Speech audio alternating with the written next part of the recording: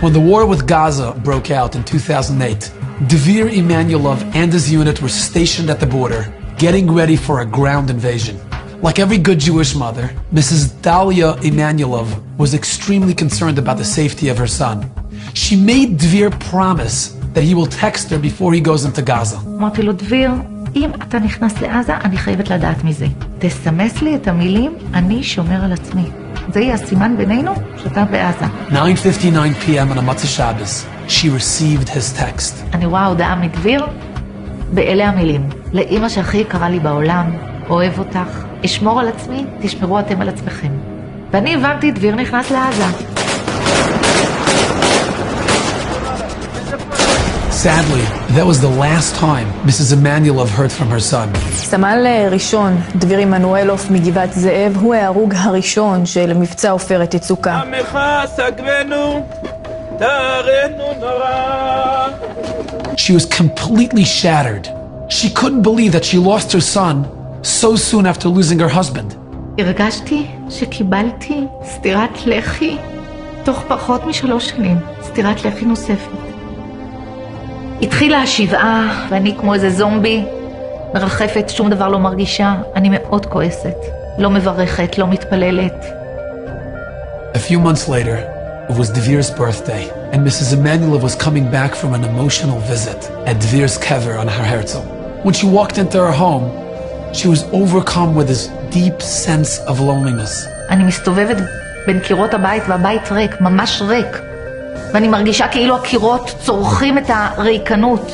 בעלי לא פה, דביר לא פה, הבנות שתהיינה בריאות גם לא פה, אז אני לבד בבית. She sat down in a chair and burst into tears. And for the first time since Devere was killed, she started talking to Hashem. אמרתי לו, מה זה? למה? עשיתי משהו לא טוב? אם עשיתי משהו רע, אני צריכה לדעת. ואז החלטתי שאני דורשת. אני רוצה סימן שאני במציאות. אם זה חלום, זה חלום רע. A short while later, her youngest daughter called her up and she told her that there's this big concert going on in Kiryat Chutzot by this famous Israeli singer Meir Banai. הלכנו להופעה, ואנחנו יושבות שם בספסלים, Five minutes before the concert begins, she feels a tap on her shoulder. She turns around and she sees there's a three-year-old child. הוא נראה לי כמו מלאך, יפה תואר, חיוך של זהב, טלטלי זהב, עיניים כחולות. ואני אומרת לו, שלום, איך קוראים לך? אז הוא אומר לי, אשל. אתה רוצה להיות חבר שלי? אני שואלת. הוא אומר לי, כן. אתה רוצה לשבת לידי? Before Eshel could respond, she hears Eshel's father, Benny. Eshel, Eshel, come over here, sit next to Abba and Dvir. בוא תשב לידי וליד דביר. אני שומעת את השם דביר, ואני מסתובבת לאחור, ואני רואה את האבא מחזיק תינוק. ואני אומרת לו, סליחה, בן כמה התינוק? הוא אומר לי, חצי שנה? הוא נולד לפני עופרת יצוקה או אחרי? אז הוא אומר לי, אחרי. She says, I'm sorry for being so intrusive, but why did you name him Dvir? Benny looked at her and said, You know, we actually never shared this with anybody, not even at Dvir's bris. But if you're asking, I'll tell you. He pointed at his wife who was sitting next to him, and he said, When my wife was in her eighth month, she went to the doctor for a routine checkup. ובבדיקה עצמה אה, התגלה סוג של מום לעובר. כשהלכתי לקבל ייעוץ אה, רפואי ממומחה, אמר לנו שזה הר ציביר, וככל הנראה הוא ייוולד לתוך איזשהו מערך שנצטרך אולי דיאליזה וכולי. We were completely devastated by the news.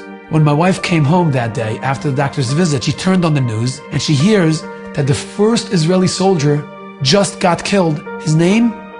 Dvir Emanuelov. משהו טוב נחת עליה, ואני אומרת לקדוש ברוך הוא, אתה תעשה איתי את החסד, תרפא לי את הילד, ואני אקע אותו על שם, על שם דביר. A month later, we gave birth to a beautiful, healthy baby boy, and we named him Dvir. ואז אני אומרת לו, אתה יודע, אני אימא שלו. צריך להבין שהפסטיבל עצמו זה 8,000 איש, זה 8,000 כיסאות, זה חושך. מה הסיכוי שאישה מגבעת זאב ואישה מירושלים ישבו שורה תחת שורה, נפלנו אישה על רעותה, ממש ככה, אנחנו התחבקנו והתנשקנו. היא אומרת לי, דביר שולח לך חיבוק גדול דרכנו. אני שומעת את המילים האלה, אני הבנתי, אני ידעתי, ואני קיבלתי תשובה ישירה.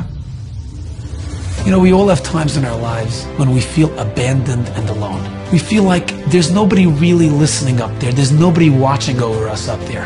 It's in times like these that we have to commit to turn to Hashem and connect to Hashem and talk to Hashem in your own language. It doesn't matter where. While you're driving to work, washing dishes, or folding laundry, Hashem wants us to ask Him to help us feel His presence in our lives. Try it. The results can be surprising.